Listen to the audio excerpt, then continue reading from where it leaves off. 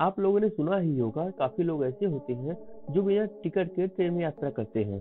आप लोगों में से भी कोई होगा जिसने बिना टिकट के ट्रेन में यात्रा की होगी। कुछ ने तो ये काम मजबूरी में किया होगा और कुछ ने तो ये काम पैसे बचाने के लिए किया होगा।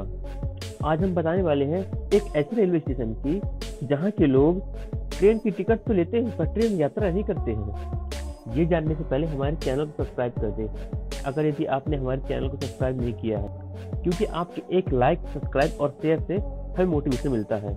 ऐसी ही बेहतरीन जानकारी आपको बताने के लिए। तो चलिए शुरू करते हैं। तो ये जगह है प्रयागराज के दयालपुर रेलवे स्टेशन की। लाल बहादुर शास्त्री ने पंडित जवाहरलाल नेहरू से सिफारिश करके बनवाया था।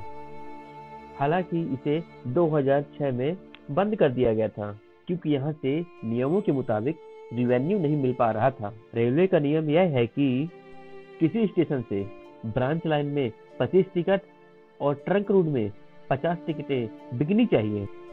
और ऐसा न होने पर वो स्टेशन बंद कर दिया जाएगा, जिसके कारण दयालपुर स्टेशन को 2006 में बंद कर दिया गया था। लेकिन रेलवे ने जनवरी 2022 में इस रेलवे स्टेशन को बहाल करने का ऐलान किया।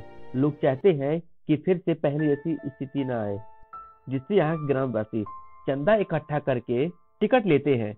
ताकि स्टेशन चालू हालत में रहे। आपका पूरा वीडियो देखने के लिए धन्यवाद।